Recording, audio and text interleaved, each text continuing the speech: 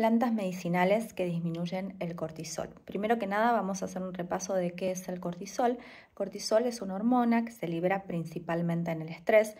No es un problema en sí mismo, el problema es cuando tenemos concentraciones altas de cortisol de manera constante, o sea, en el estrés crónico.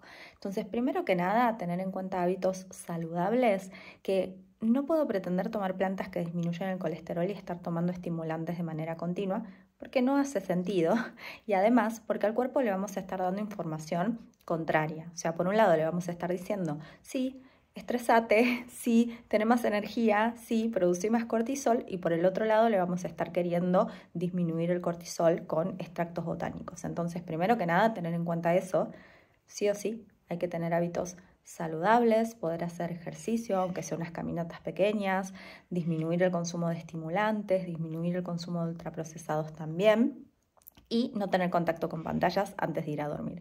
Eso primero que nada. Y ahora sí vamos a hablar de cuáles son esas plantas que ayudan a disminuir el cortisol.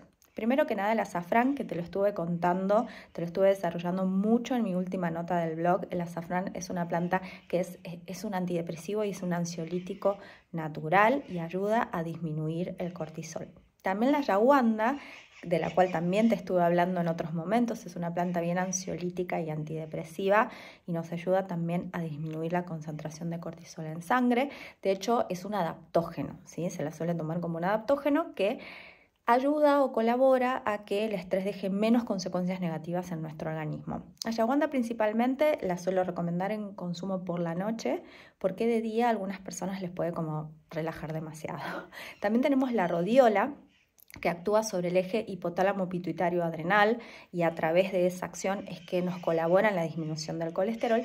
Y luego tenemos la bacopa, que la bacopa actúa principalmente sobre el neurotransmisor GABA y sobre la serotonina. Entonces nos ayuda a disminuir la ansiedad y a tener una sensación de más placer con la vida y de más relax.